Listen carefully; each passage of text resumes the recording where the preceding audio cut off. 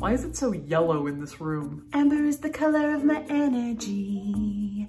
Whoa. Here's what's happening. 10 minutes ago, YouTube recommended to me this video that I did like three years ago that was a vlog a week in my life. And at the time, I remember thinking, okay, that was nice. I don't really need to do that again. But I clicked on it. It has half a million views and a lot of really positive comments. So snap decision, we're just gonna do it again. We're gonna do it this week. I don't even know what I'm doing this week.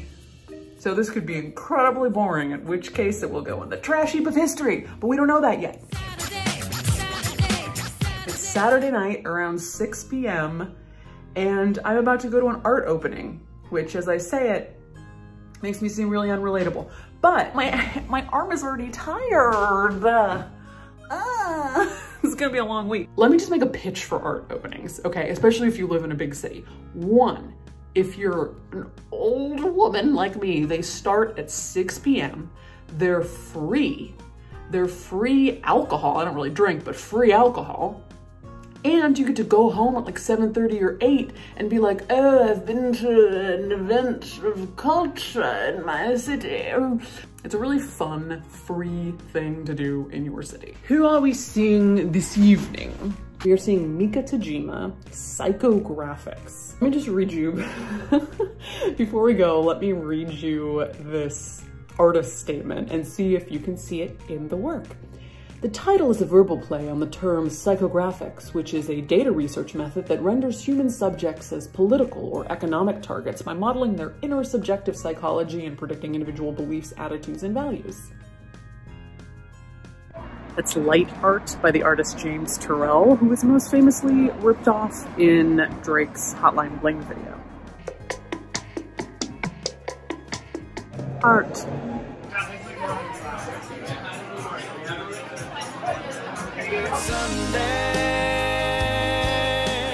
Good morrow, everyone. It is Sunday fun day, and I have this phone propped up in a jar of eyeshadow brushes, which is all fun and games until I need one. Uh, just, oh, here's the perfect shot. Nailed it. Now, even though it is a Sunday morning, my brain is already thinking of all of the exciting opportunities I have to work today. We have to learn to have a work-life balance. Because some of us historically are not great at that. Here's what I am doing today that's not working. It's going to brunch with some friends. I forgot to mention it's drag brunch.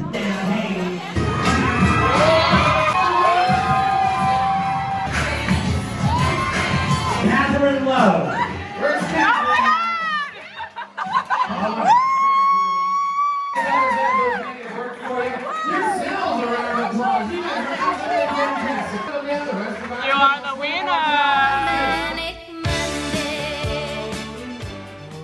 Darkness, my old friend.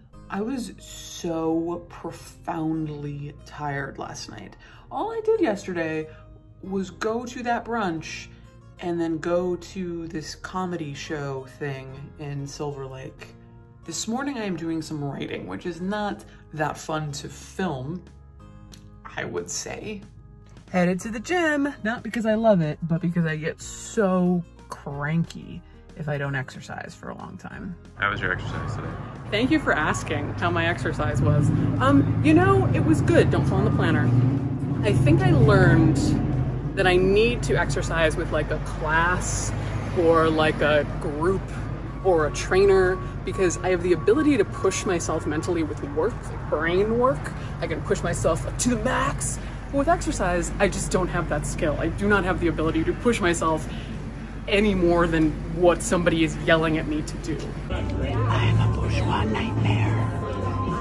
I thought I would tell you about the writing that I was doing this morning. I'm working on book number four, slowly but surely, and I'm still in the stage where I'm reading a lot and outlining and gathering information. And when I read a book that I really is super useful to me, I outline the crap out of it. I write stuff in it, and then I have to go back through it and pick out quotes that are actually really useful, my thoughts that are really useful. So the book that I did this morning, which I love, is Holy shit, managing manure to save mankind. He writes in this absolutely stunningly kind and moving way about shit. It's the way that I aspire to write about corpses. The problem is, I first read this book and did all my marking up and underlining probably six months ago. So now I have things written in here like feces and the fear of death, Jung, Zizek. What does that mean?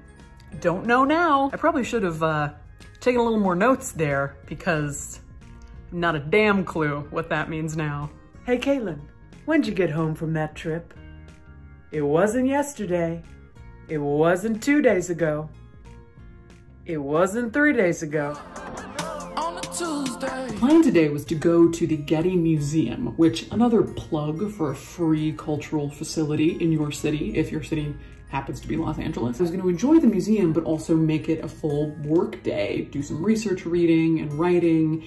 But when you also own a funeral home, the Lord doesn't always have the plans for you that you have for yourself. So the morning has been spent working out a bureaucratic issue with a death certificate and a permit and a burial that's happening for someone who died. This is not an interesting story, but it's my story.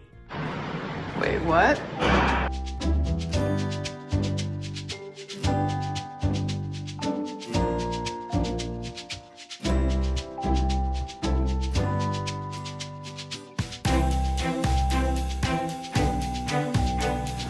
My home.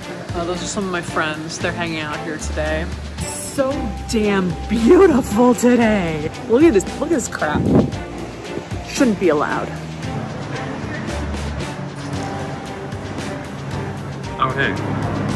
Oh, hey, you've caught me living my best life.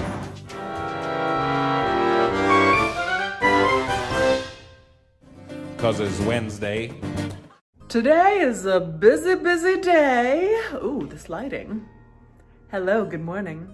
First up, a lot of computer work that I did not film. Second up, filming a video. It's a video. Now, the video that I'm shooting today, you are not going to see probably until next month because these longer videos, these 25 minute, 30 minute ones, are a long process. It's research, then I travel and film somewhere, and then it's more research, and then it's back and forth on the script, and then it's filming, and then it's back and forth on the editing. It's a whole, a whole thing. So in maybe a month's time, you're gonna see this outfit, you're gonna see this hair, and it's gonna be a deja vu moment. The biggest struggle for these new, much longer videos is that I don't have a second battery for my camera. So the camera battery often runs out with like two minutes of recording left to go.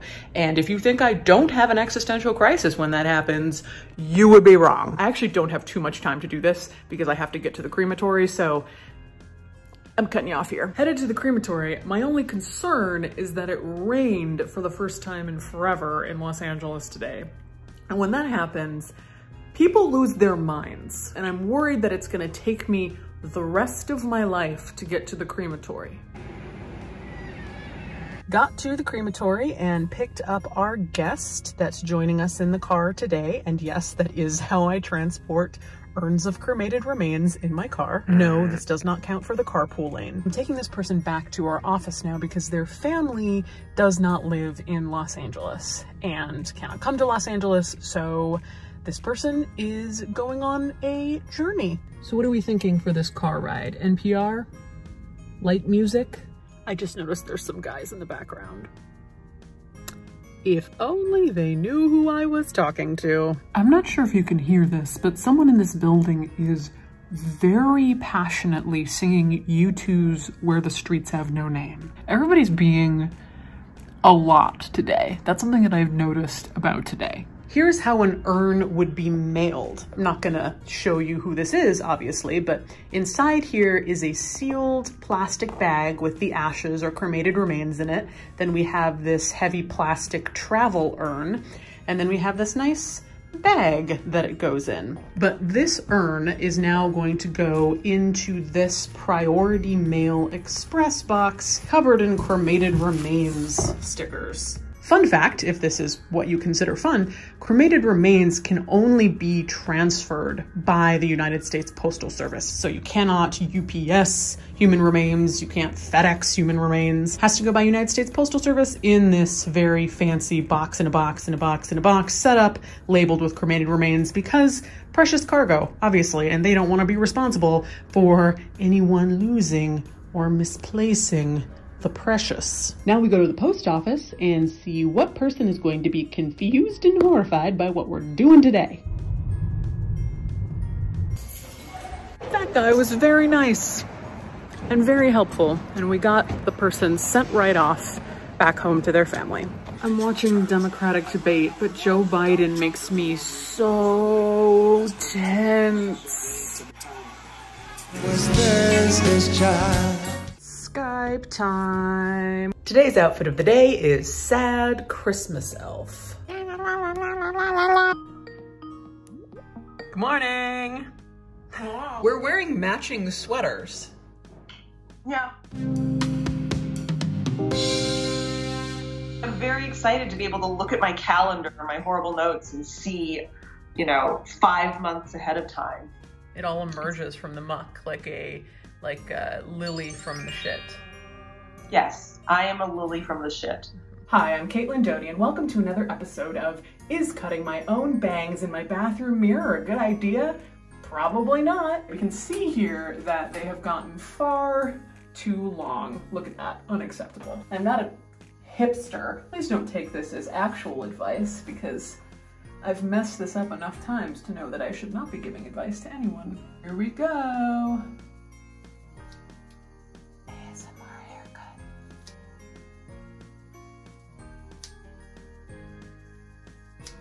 And that's kind of it. You can see the victims in the sink. Et voila!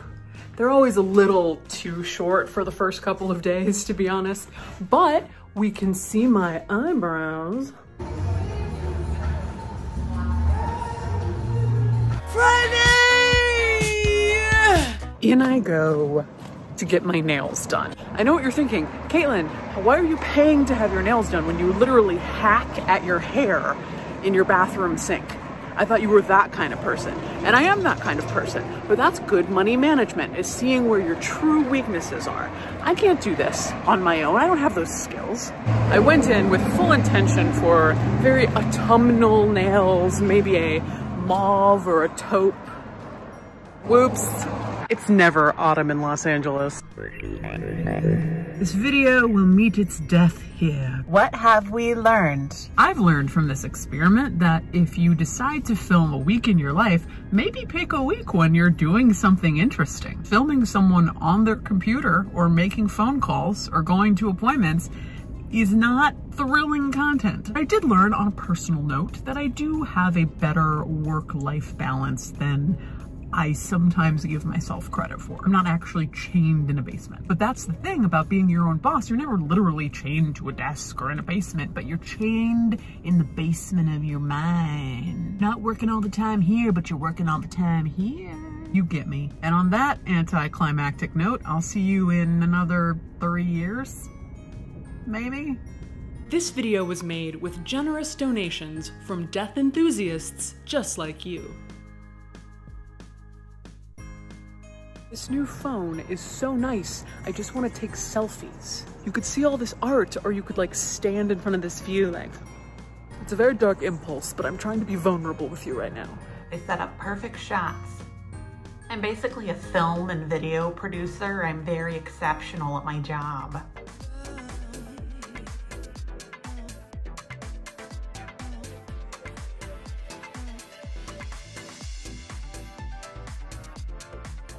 Oh, it's the wrong one. Jesus Christ.